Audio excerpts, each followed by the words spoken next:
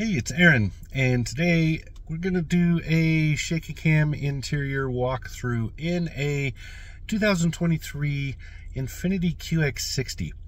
Uh, this vehicle was completely redone last year. I think I did a walk around review last year, uh, but I didn't do an interior. Uh, this year I did both. Uh, so either way it's covered. So you'll see the walk around video linked down below. Um, and yeah, let's just get started. This is a pretty good vehicle. Uh, Infiniti did a good job. This is one of those vehicles that tends to get overlooked. Infiniti itself kind of gets overlooked. Um, they're having a tough time marketing, uh, given the number of luxury brands that there are and the fact that Infiniti doesn't have anything that jumps out. Um, everything they do is pretty straightforward and it looks good and it's comfortable and luxurious but it doesn't have anything that just leaps at you. Um, you know they don't have Matthew McConaughey in their commercials. Uh, they don't they don't have a, a, reputation for sportiness and going fast or any of that. So uh, but shouldn't be overlooked. It's a great brand. Uh, this is one of their better vehicles too. It's it's pretty new. Um, like I said, it came out last year. So let's walk around it. I'll show you the interior here, some wonderful quilting and other stuff. Let's check it out. So as always, we start on the left side. Up here, you got the door handle, physical lock. Here's your seat memories up here. And then down here is door locks, side mirrors including the uh, fold right here. This folds them in manually. And then you have your windows right here and window lock at the bottom. This has the Bose Performance Series stereo in it and it is beauty in this car. Beauty. Uh, I'll talk more about that later. Over here is first of the vents. You can see how it turns on uh, how you adjust it here move it around right there. And then down below that this is your lane keeping uh, assist. So it's kind of hard to explain, but basically when you push this, um, you can turn steering assist on and off when cruise control is running. So uh, I'll show you that sort of. This uh, just turns on and off the, the head-up display, and then this opens the rear hatch. Down there you can see the uh, front, or the, what do you, why am I having a hard time with words? There you go. The hood. That's the hood latch release. Uh, and some pedals. So we go to the steering wheel. Um, I'll talk about cruise control based on this steering wheel when we get to that side. Let's start on the left. Over here on the left, you have your volume controls. This is your track or station. This chooses what menu you're on um, in the driver information screen and this controls the driver information screen uh, so you see you have a back button and then a left right and an OK and then you can spin this up and down I'll show you what's on the that when we get to the instrument cluster over here is cruise control stuff. But first, let's talk about down here is voice control, which is okay. It's it it's a kind of that clunky walk you through the menu thing, but it's pretty okay. This is telematics. Uh, so you can use this to Bluetooth your phone, by the way. So if you don't have your phone set up, you can just hit this and it'll walk you through the Bluetooth menus. And then over here is your following distance when you have cruise control on. So adaptive cruise following distance here. This is Infiniti has a name for it. Nissan calls it Pro Pilot. I don't remember what Infiniti calls it. But uh, this is regular cruise control uh, or regular adaptive cruise control. But you can also do lane centering, which is what that button over there was for. Uh, you can also turn it on and off using the driver information screen over there. So when you push this and turn it on, it will prompt you and leave the prompt up there in a, down in the corner so that you can push this and then uh, select to have the uh, lane keeping or the lane centering on and then you or you can turn off. Same same difference. So pretty cool setup. I really like this. Um, and then this works really really well. So it just follows the lanes keeps you in the middle of it. We did a little road trip and it kept it really well while there were some fairly high winds, about 40 mile an hour winds, uh, crosswinds pushing the car, and it held that pretty good. And then your usual cruise control stuff here. So you have set, resume, uh, cancel, and then you up and down to change the speeds. This has paddle shifters. I don't know why, but it does. Nine speed automatic transmission okay. Over here is uh, your washer wipers. So this knob right here runs the back. You can see it's off, intermittent, and full. And then you push this back. So you push the whole hand, the whole dongle back uh, to squirt the back. If you're using the rear view mirror, um, actually, yeah, I'll just talk about it now because I already brought it up. So if you're doing the rear view mirror like I do with the camera instead of the standard mirror, right? Then uh, you'll need to wash the back every so often because this camera is actually behind the glass right at the top of the window and it does get dirty. So there you go with that. Anyway, and then the front washer uh, and wipers, so you pull it forward to wash and you can see, you can set wipers here. There's one of these on this side too, so it's easy to grip and then up and down for your wiper settings on the other side, another paddle shifter here, and then you have your signal turns up and down. Your lighting is right here. You can see I have it set at auto and you can go through the other ones. Over here is your automatic high beam control and then uh, high beams back and forth. There you go. That's what I almost forgot. And then down there you can just see it. That's the dimmer switch for the instrument cluster. The instrument cluster itself is um, fully digital, so no glare. Uh, because with a digital screen, you don't have to uh, shape glass or whatever. In fact, there's no glass cover on this at all. It's just the screen. So you can sink it in and do all that to keep any kind of glare from happening, which is what happens on this one, which is cool. Over here on the left, you can see you got a tachometer, and then that shows your gearing there. There's the infinity symbol. Uh, and uh, what you're doing with your transmission. So you can go into manual mode and use those paddle shifters and then this will show you what gear. And then over here is your speedometer. So you got the speeds right here. Very, very optimistic 140. I'm not so sure that this car would do that. Could though. It's a pretty decent three and a half liters six cylinder. Down here you got uh, fuel. Over there you've got water heat or engine heat. So as far as the fuel goes, we put a lot of miles on this vehicle this week. Uh, we did a pretty decent road trip and uh, just did a lot of driving. We had the full family in the car, so five of us in here.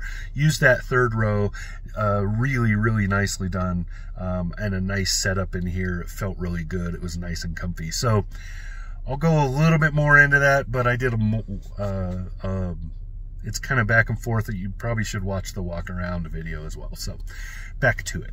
Now, here we are in the center. So right now it's showing uh, the safety systems basically. So it's showing where we are, like it doesn't detect any lines because I have nothing turned on to tell it to do that because we're parked.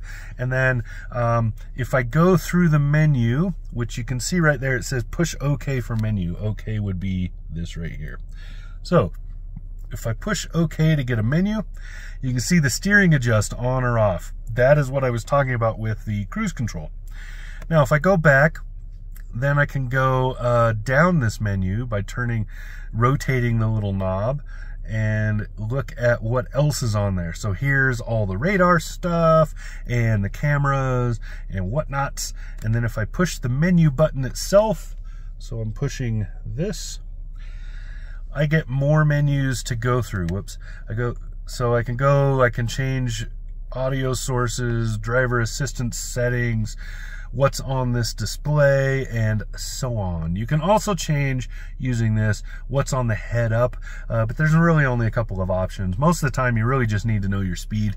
Um, it also shows you what it thinks the speed limit is wherever you're located and driving. So, moving on. Um, infotainment. Infotainment in here is pretty good. This is a big touch screen. Um, you don't have to know anything to use it.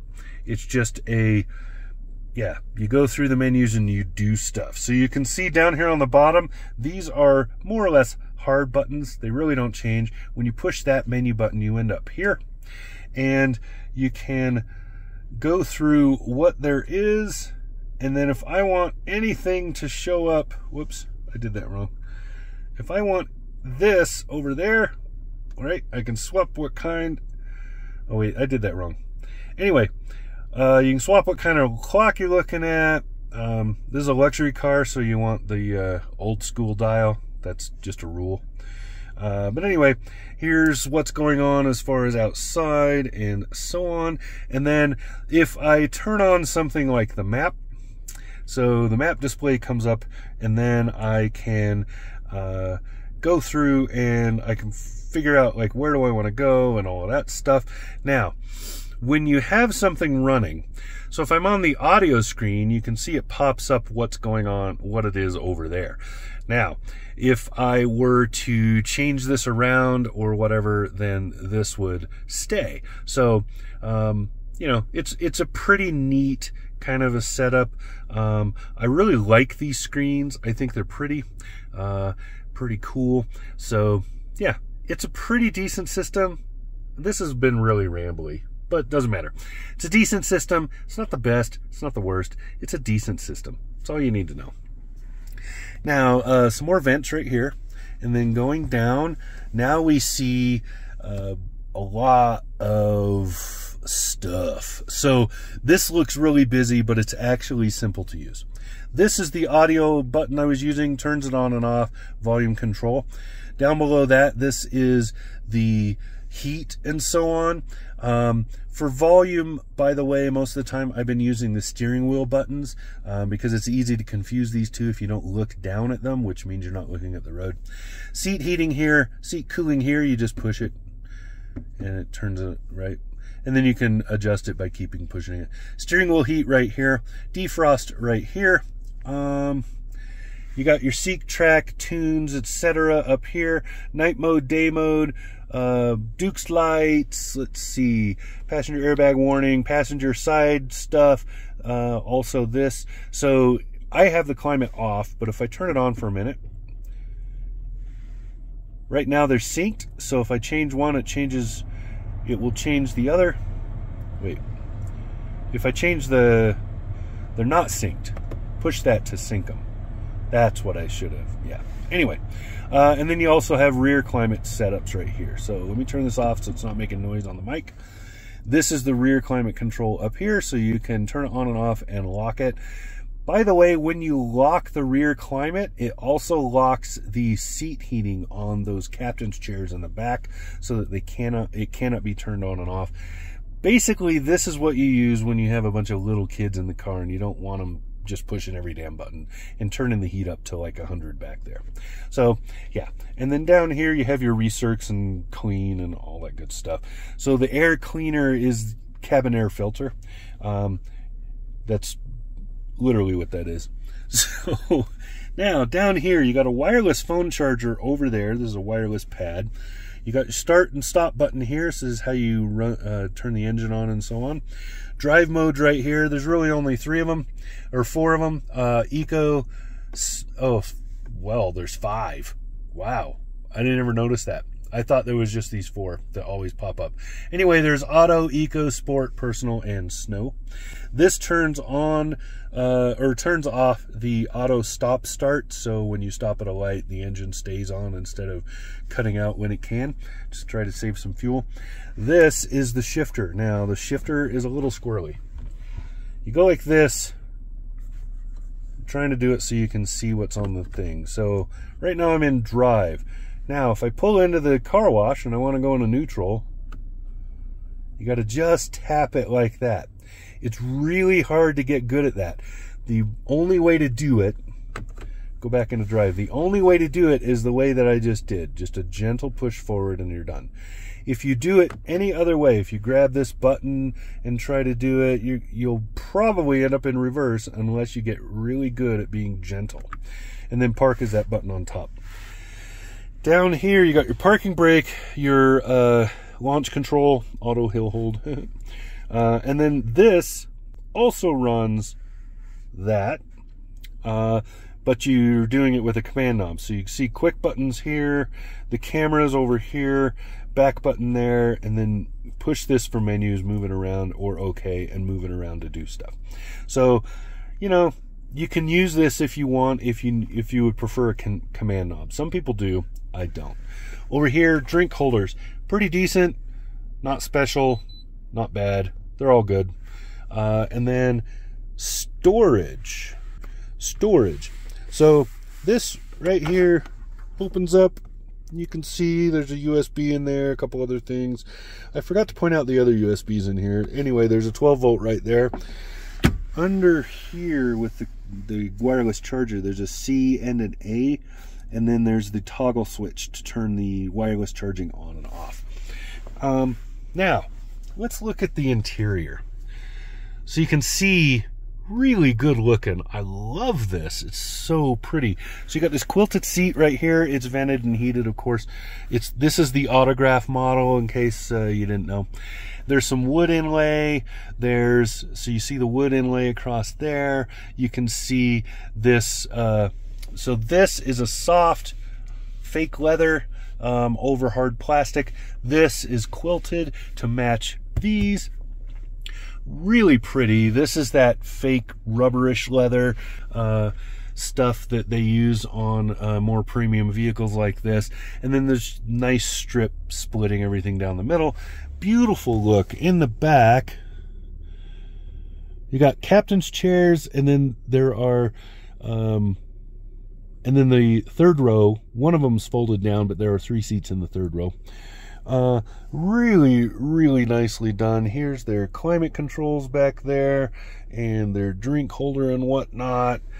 Overall, just a really nicely done premium level luxury car. Uh, it For comparison, if you're trying to figure out how big this thing is, it's basically the same as the Nissan Pathfinder. Uh, very similar to a lot of the smaller mid-size three rows that are on the market right now. Uh, Acura MDX is a good good example. It is similar to most of those, uh, but as you can see, hmm, something in my beard, mustache. But as you can see, very, very uh, just nicely done premium vehicle. You have a decent amount of cargo space back there if you don't need to use that third row. Just a wonderful all-around setup. Very well done. So that's it. That's what I got. This is the interior walkthrough 2023 Infiniti QX60. Talk to you again soon. Subscribe.